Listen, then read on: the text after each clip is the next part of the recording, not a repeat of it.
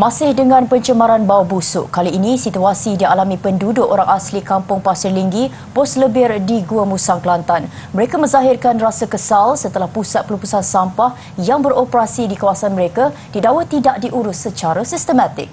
Keadaan itu menyebabkan mereka yang terjejas dengan bau busuk selain tidak selesa dengan longgakan sampah di jalan utama ke penempatan mereka.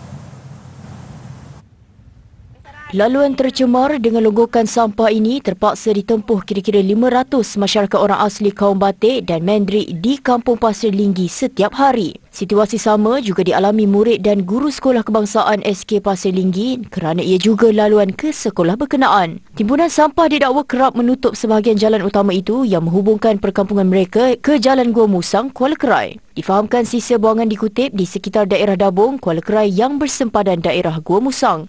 Bagi penghulu kampung Pasir Linggi, Harun Ismail berkata keadaan ini sudah lama berlarutan dan kini semakin teruk sehingga menjejaskan penduduk. Saya dah buat aduan. Saya telefon ke majlis daerah Dabung seingat-seingat saya dalam lima kali tersalah saya lah. Hmm. Ha, lepas tu dia orang tak ambil, tak ambil dah. Dia tak ambil tahu. Mana saya terus hubungi ke Kota Baru. Kota Baru pun dia cakap awak dah salah telefon. Setiap hari lalu jalan ni. Siang malam, pagi petang. Bawa anak-anak. Uh, bawa anak-anak pergi ke luar untuk membeli makanan apa.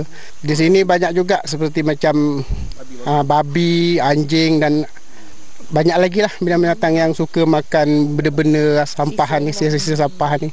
Tapak pelupusan sampah itu kira-kira 8 km dari perkampungan orang asli Pasir Linggi dan satu-satunya laluan penduduk untuk keluar ke bandar. Mendengar aduan, Adun Paluh Amran Arifin berkata pihaknya akan mengambil langkah sementara termasuk melaksanakan kerja pembersihan laluan sepanjang 9 km dalam tempoh terdekat.